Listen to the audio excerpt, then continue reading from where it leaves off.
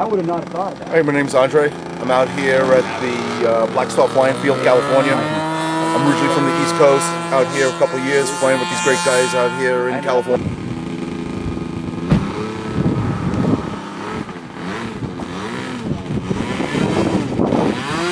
Yeah, half scale Bucker. Actually came out to 46% because it didn't fit in the trailer. I had to shorten it up a little. Uh, 3W150, so it's totally underpowered. Uh, I drew it in SolidWorks, fully solid modeled. Uh, I made all the hardware. I made everything except the servos, the engine, and the wheels. This So is completely a scratch built and designed by you. I mean, absolutely from nothing, from pictures from the internet. How long did it take you?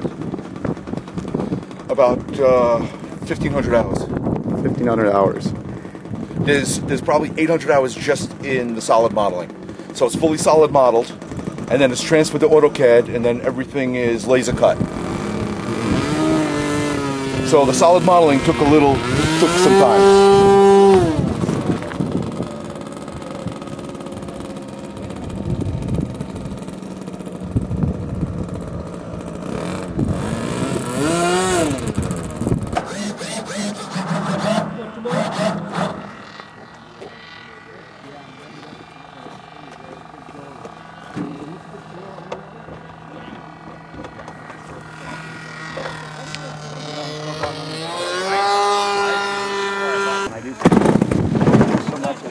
Of the aerobatics too much unless I'm up high, you know, and I'm really careful. 'cause And here I goes don't nothing. Maybe uh, John.